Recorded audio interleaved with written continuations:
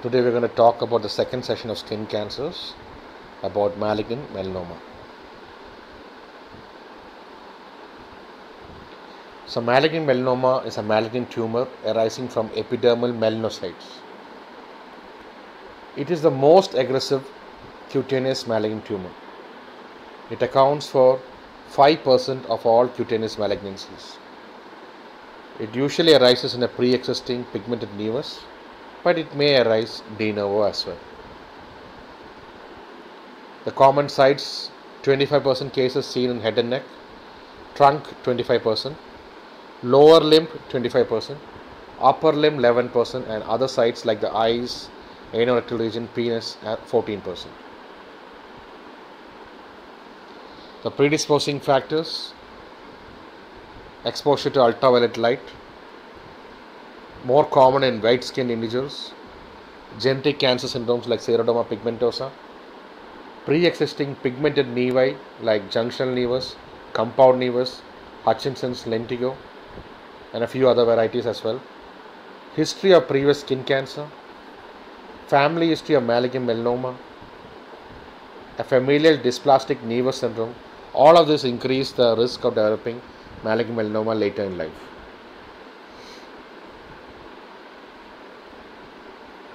Now, regarding the pathology, there are four uh, types that have been described. You have the lentigo maligna melanoma, acral lentiginous melanoma, superficial spreading melanoma, and the nodular melanoma. Lentigo maligna melanoma is the least malignant and the least com- and, less, and is less common. It occurs in the elderly age group and is more seen on the sun exposed areas like face, neck, and hands. It presents as slow growing, variegated brown macule or lentigo. Now, acral lentiginous melanoma, it is the least common and has poor prognosis. It occurs in the distal extremities such as the palms, soles, and the subungual region. Superficial spreading melanoma, it is the most common type of malignant melanoma. It can occur in any part of the body. It commonly arises from a pre existing nevus and is more common in the back in men and in the legs in women. Nodular melanoma, it is the most malignant type and has poor prognosis. It can occur in any part of the body but is common in the head and neck and trunk region. It's common in younger age and in men.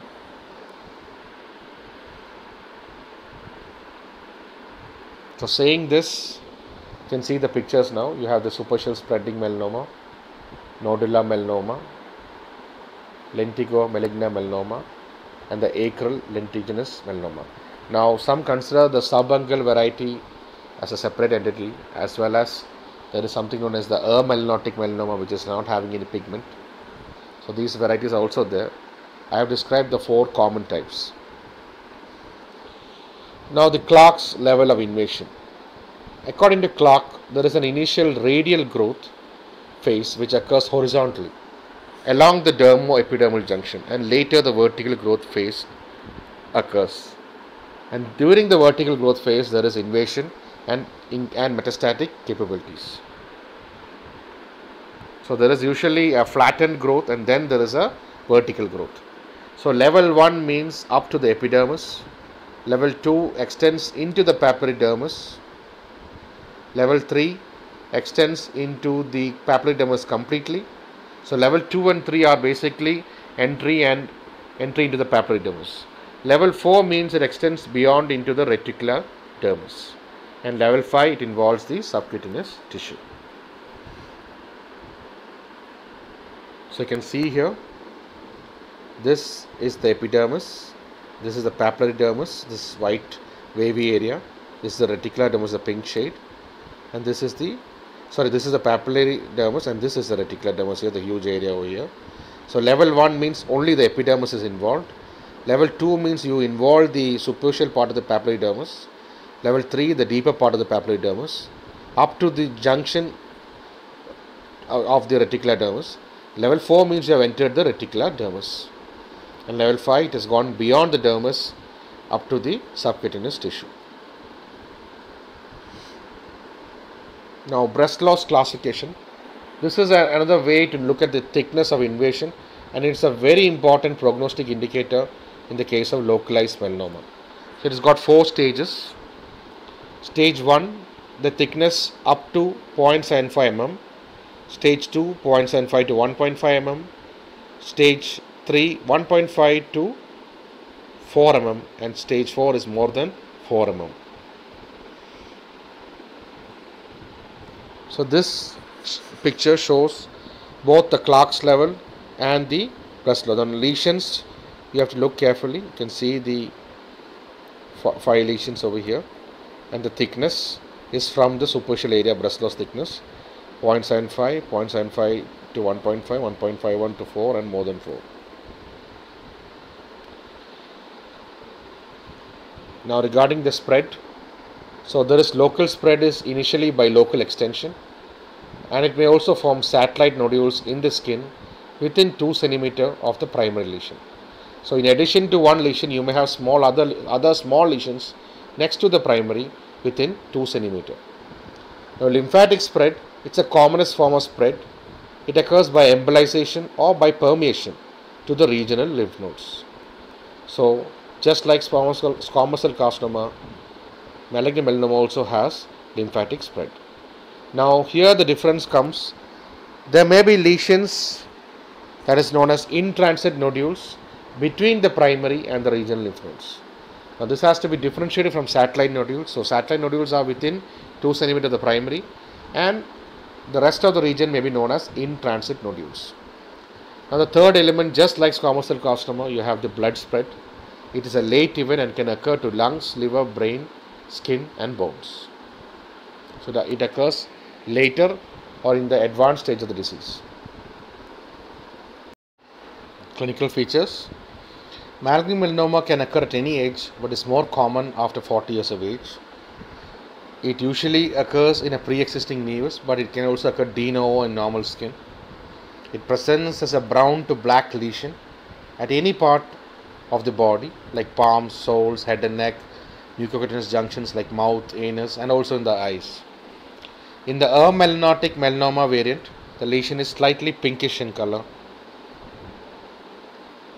and does not have the typical brown to black color.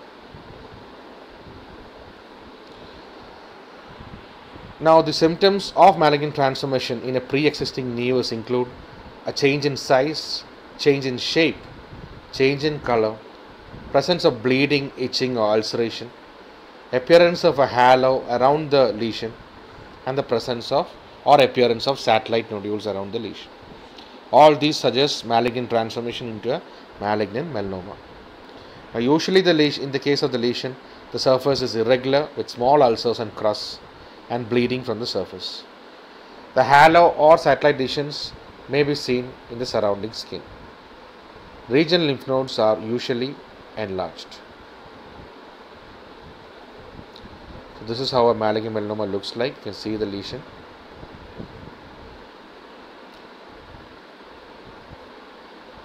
So the difference is between benign and malignant. So benign has got a symmetrical appearance while malignant is more of an irregular or asymmetrical appearance. The borders are even and the borders are uneven. The color is slightly brownish while there is a variation of color or uh, darker shades or blacker shades are also seen. The size is usually less than 6 mm for benign and more than 6 mm may suggest malignant. And this is an ordinary mole and this is a irregular shaped mole with all the change in size, shape, color and superficial surface. So the investigation just like any skin lesion, biopsy. So if it's a small lesion you can go for an excision biopsy or else you go for a wedge biopsy. Now there are tumor markers which are positive in malignant melanoma, the S100, HMB45, Melan-A and LDH. Now when the lymph nodes are enlarged you can go ahead for an FNAC of the lymph node. Now malignant melanoma is one of those conditions where you can look for the sentinel lymph node biopsy and lymphatic uh, you can say tracing or lymphoscintigraphy where you can trace the drainage into the first node of the regional lymph nodes which is likely to have the malignant melanoma should the lymph nodes be involved. So sentinel lymph node biopsy is that technique. Now for further evaluation, you can look for ultrasound of the area or MRI of the area for looking at the local invasion of the lesion as well as for the lymph node region assessment.